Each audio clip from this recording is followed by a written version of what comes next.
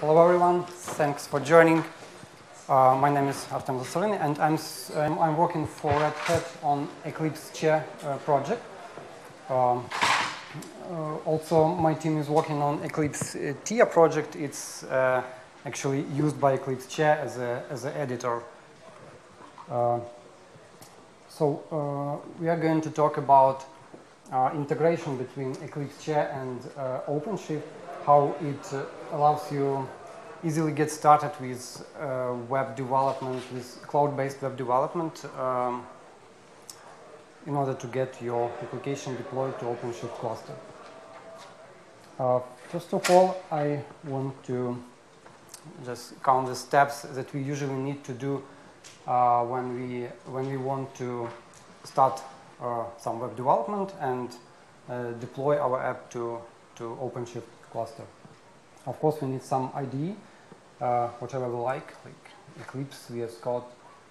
Uh, we need some general development tools like build systems, uh, version, version control systems.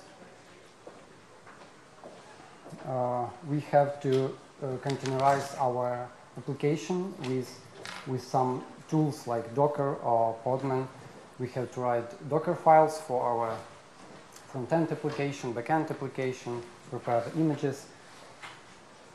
We have to, uh, we, we, we, need uh, several uh, CLI tools to communicate with the remote cluster, uh, like kubectl, ODO, OC. Uh, we have to describe our application in terms of uh, cluster objects uh, we had to write several YAML descriptors for our services, pods, and so on. Of course, we can add uh, many more steps here, but let's, let's, let's talk about what Eclipse Che can propose here. Uh, just a couple of words for those who maybe haven't heard about Eclipse Che. It's a cloud native IDE, uh, which means that it uh, can not only be deployed to OpenShift cluster, but also you are able to um, you are able to deploy your application uh, that you are working on from your development environment to, to the cluster uh, using the Kubernetes and OpenShift toolings that Eclipse Che provides. Uh, I will talk, I, I, I, will show you in my demo in details what OpenShift Che toolings represents. Now just mentioned that OpenShift Che Toolings is actually a Che plugin. Uh, it includes uh, VS Code OpenShift connector extension with all the dependent uh, CLI tools like OC, ODO. And all those stuff are running in, in, in, in the sidecar container uh, within my Che workspace. So uh, in this example, I have OpenShift Che toolings uh, connected to my Che development environment, and it brings the actually the functionality that VS Code plugin brings. Uh, it's possible because internally we are using uh, Eclipse Theia project, which has the plugin system, which is, uh, I, I, guess, almost fully compatible with VS Code extension system. Uh, one one important uh, concept, important feature that I want to mention, it's a Che dev file. I will show you more in my demo. And um, Che dev file is actually uh, a description, YAML description of, it looks like, like this here, uh, which allows you to describe your entire development environment in one YAML file. It can be easily um, shared, reproduced by, by your colleague, by any uh, member of your team. So you have once described your environment and get this YAML, uh, give, give this YAML to, to your colleague and he or she can uh, uh reproduce, uh, run exactly the same environment with the same runtime containers for your applications. In this example, I have, for example, a, a couple of projects declared for front end, for front end, back end. Uh, I can also um, add, uh, describe several components. Uh, usually it's Che plugins, but here I can add some runtime containers for my application. like with uh, Node.js for my front end, with Maven and Java for my back end. Uh, also in this dev file it's possible to add some several commands which I can uh, run from my um, IDE uh, just in one click and it can be uh, it, it, it will be running in the in the container where it's supposed to be running. Um, yeah, on this example, it's how the OpenShift Che plugin is added, is declared in Che uh, dev file, and when, I, when, when my workspace is uh, started, uh, it will bring the functionality of the plugin to my IDE. Yeah, demo. Let's look how it uh, how it's looking. Yeah, here is my uh, Eclipse Che instance running. Uh, it's running uh, locally on CodeReady containers. It's a local OpenShift cluster, single node cluster. And for this workspace, I have the dev file with uh, my front end sources, backend sources. Uh, here I have I have the Node.js container declared to work with my front end, to build it, to run it, container uh, for backend, OpenShift plugin, so everything that I need. And also uh, several commands, for example, for running my front end. I have command declared with all the parameters. Yeah. So here is my workspace is running. Um, let's assume I, I, uh, I, I, need to work on some uh, feature.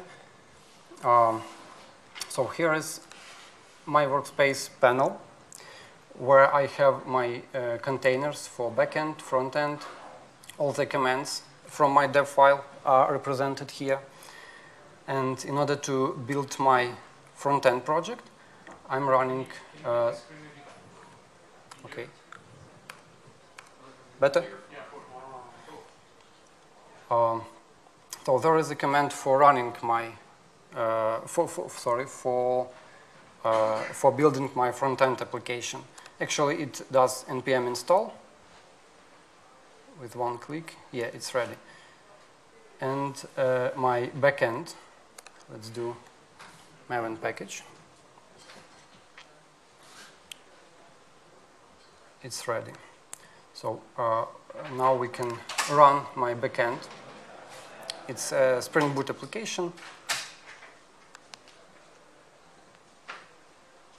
Backend is ready and run the front end. So uh, my backend and front end are running in separate containers. For backend, it's one container. For front end, separate sidecar. Here, Eclipse Che has detected then that in one of my containers within the workspace, uh, some application is, is, is running. It's available on port uh, 3000. Let's we can open it and it will be opened inside the uh, in, in the embedded uh, embedded uh, web, web web browser. It's a simple web browser just for previewing your applications. Um, now let's assume I, I need to make some changes. For example, let's change that wild east to wild west. I find it in my sources. Yeah. And now I can just refresh in that embedded browser the page and changes will be here since the, there is uh, npm watch command is running. So I can quickly iterating on my front end. Um, now let's assume I, I have to deploy my application to OpenShift cluster, like staging a production cluster. Uh, here we have the functionality that is uh, that uh, VS Code extension brings, which, which is packaged inside the Che plugin. First of all, I need to connect to my cluster. Here I have command. It's also from the file. Let's log in. Um, password.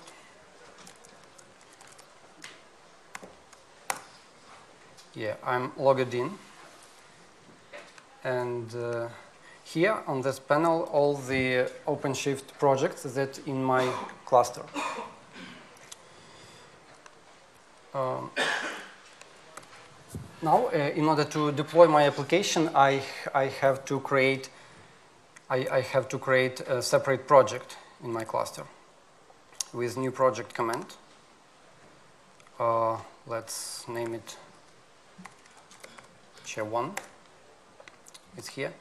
And, I have I, and now uh, we should create a separate component for, sep for separate part of my application. So one component for backend, new component. Uh, it's a, here we should uh, type the name of OpenShift application, uh, like Wild West. Uh, since my backend is based uh, on jar file, uh, here we should pick binary file. Then uh, we should specify the context folder, so wh where our binary is located. It's in backend target directory. Here's our jar file, selected. And now uh, component name, backend. Here we can uh, choose the uh, type of runtime for our backend application. Uh, since it's Java application, let's pick Java, the latest version. Yeah, and our backend component successfully created. Here it is. Uh, it's just a descriptor of our components, so we have to push the changes to the cluster. Uh, meantime, we can we can open OpenShift web, web console, select our application, and here we can see that our backend is running. We can see the, all the information, uh, manage it. while it's starting, we can create a component for our front-end application. New component. Uh, since it doesn't have binary, it's Node.js application, we have to, uh, to specify just workspace directory. Context folder. Uh, it's in projects front-end. Component name front-end. Uh, it will be Node.js runtime, the latest version. And do the same stuff, uh, push the changes to the cluster. So on OpenShift console, we can see that our backend is already running and frontend is, is going to be run. Uh, okay, let's wait a bit.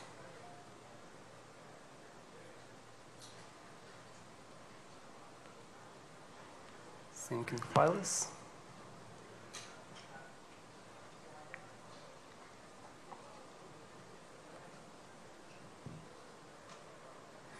Uh, by the way, ah, yeah, it's ready. It's, it's running.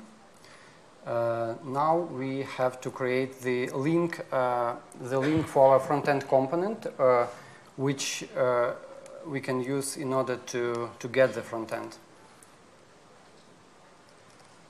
Link, push the changes.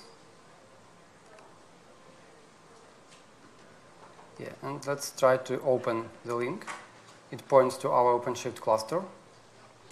But since our uh, front end doesn't know uh, where our backend is located, we have to link the front end with backend uh, with a special command link component, it means that uh, in front-end sidecar container, uh, an environment variable will be injected, which points to the backend component.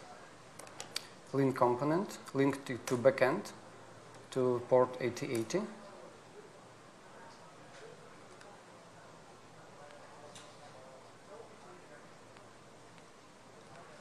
Let's refresh the page. Yeah, it, it's, it's because the front end is restarting because it, it, it, it, it have to be reconfigured.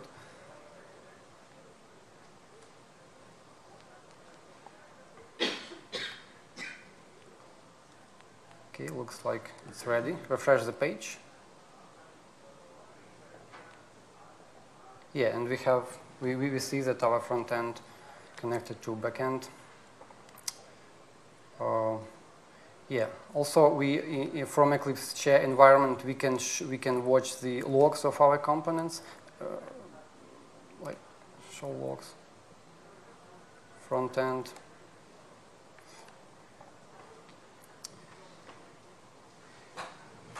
Yep. So in in this demo, uh, you've just seen how how the how you can uh, use Eclipse Che uh, to to deploy on, on, on the simple example to deploy your application to OpenShift cluster. Okay, uh, so Eclipse Che can with Eclipse Che you can simplify your uh, development of your web application uh, with help of such tools as DevFile which uh, you can use to describe your environment once and share it with help of uh, plugins, uh, which bring the which can bring the VS Code functionality to Eclipse Che, and with help of tight integration of uh, Eclipse Che and OpenShift, um, it's it's possible. So if you, if you want to learn more about Eclipse Che, here is the GitHub repository for Eclipse Che, for the file. We have a plugin registry repository where you can uh, find the existing plugins or contribute to your own plugin. Here is the README file with the documentation available in the repository. Uh, we have a Mattermost channel for all the communications about Eclipse Che. Uh, mailing list. We have uh, each second Monday we have a community call where you can join and ask the question, propose some changes. Yeah, I think that's it for my short demo about Eclipse Che. Thank you. Maybe maybe some questions.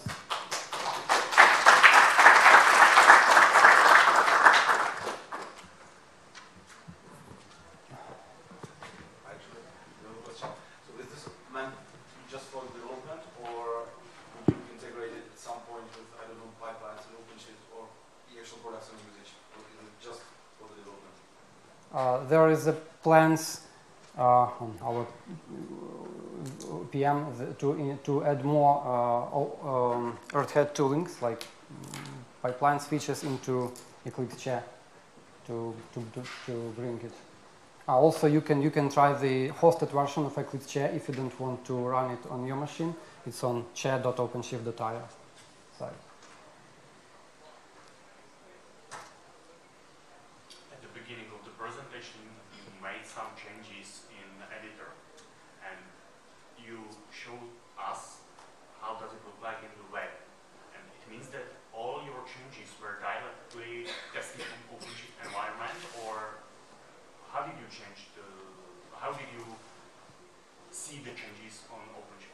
No, it wasn't in uh, OpenShift environment. It was on my within my Eclipse Che workspace, which is deployed inside OpenShift. Okay. So it's, it's, it, it was done in uh, sidecar container.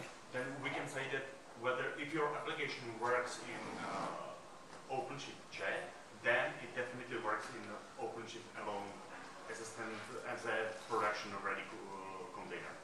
Right? Yeah and and uh, uh, Che um, Che open uh, OpenShift Che plugin has the command for watch for running watch mode on your front end.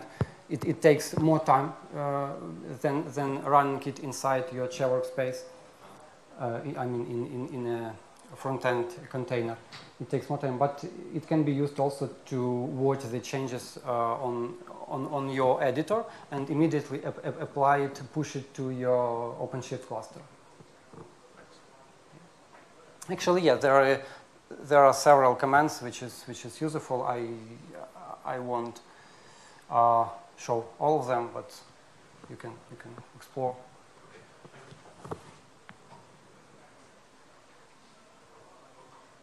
If no more questions, then thank you very much. Thank you.